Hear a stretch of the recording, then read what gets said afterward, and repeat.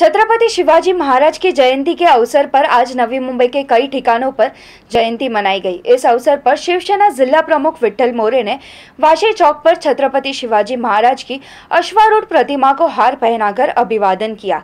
यहाँ पुलिस कर्मियों ने भी प्रतिमा पर पुष्पगुच्छ अर्पण कर अपनी श्रद्धांजलि अर्पित की। देखिए रिपोर्ट।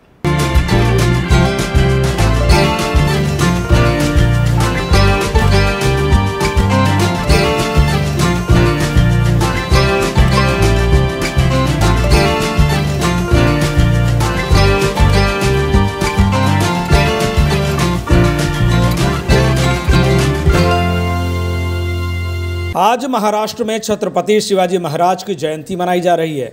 इस अवसर पर नवी मुंबई के वाशी में शिवसेना जिला प्रमुख विठल मोरे एवं युवा नेता अवधूत मोरे ने शिव छत्रपति महाराज की प्रतिमा को माल्यार्पण कर उन्हें मानवंदना दी।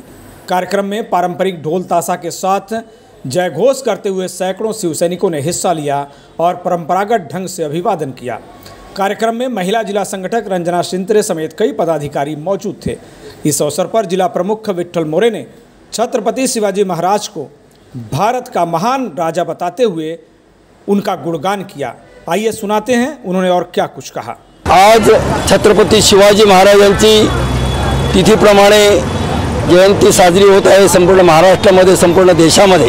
छत्र, छत्रपती शिवाजी महाराजांची जयंती अतिशय जोशा जोशामध्ये, अतिशय उन्मादामध्ये आणि अतिशय एका ता भर भरपूर अशा ताकदीनं या ठिकाणी सर्व शिवसैनिक आणि सर्व जे मावळे आहेत ते साजरे करतात.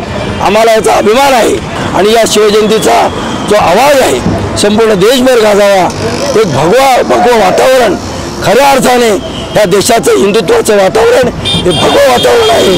आणि ते शिवसेना आणि शिवसेना प्रमुख मान्य बाळासाहेब ठाकरे आणि आता महाराष्ट्राचे मुख्यमंत्री आदरणीय उद्धव साहब ठाकरे यांच्या नेतृत्वाखाली हे संपूर्ण देश भगवामय होईल असा विश्वास या ठिकाणी व्यक्त करतो. Bureau report TV one India. Latest updates और ताज़ा तरीन खबरों के लिए टीवी वन इंडिया लाइव को सब्सक्राइब कीजिए और नोटिफिकेशन पाने के लिए बेल आइकॉन को दबाना मत भूलिए।